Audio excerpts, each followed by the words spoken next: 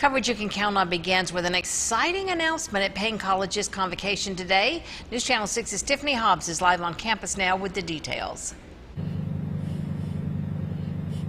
Thank you, Jenny.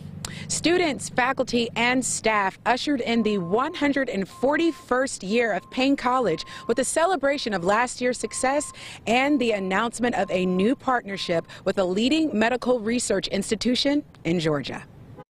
In her address, President Dr. Cheryl Evans Jones congratulated the school and spoke in detail about a five point growth plan for Paine College. Over the next few years, there will be an emphasis on increasing enrollment, additional scholarships, faculty development, improving student housing, and the expansion of new partnerships. A collaborative partnership was approved by the Georgia Access to Medical Cannabis Commission between Botanical Sciences LLC and Paine College. In the effort of new partnerships, Paine College will work together with Botanical Sciences, a leading institution in Georgia for cannabis research, focused on improving the lives of Georgians with debilitating medical conditions. You know, because we're going to have needs as a growing business in the state of Georgia. They have a great uh, student population that has a lot of the needs that we're going to have as a business. They're going to have students who can fulfill those needs. So I think it's going to be a great partnership.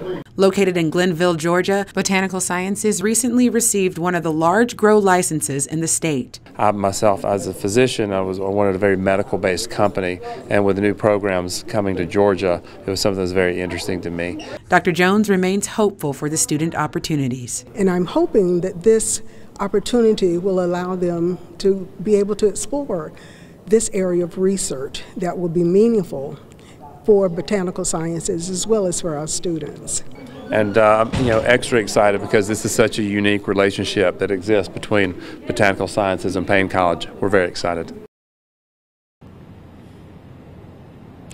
Dr. Jones tells me that while there are still details being worked out, she is excited to finally announce this new partnership and looks forward to its possibilities. In Augusta, Tiffany Hobbs, WJBF, News Channel 6. Tiffany, thank you so much.